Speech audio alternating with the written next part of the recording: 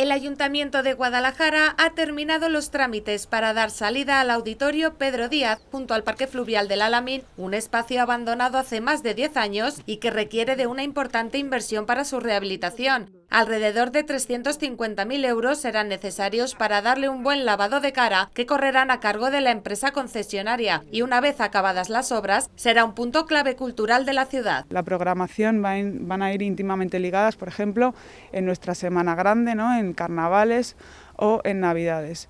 Finalmente nos hemos encontrado con un proyecto tan bonito eh, como es el de Abeja Sonora. Aprobamos en Junta de Gobierno la adjudicación definitiva de este proyecto a esta empresa. Es una licitación larga, son 30 años de licitación. La concejala calcula que a finales de agosto ya se podrá empezar a disfrutar de los espectáculos musicales y culturales que están previstos. Nos vamos a centrar mucho en, conciertos, en intentar que pasen por aquí giras más o menos importantes a nivel estatal.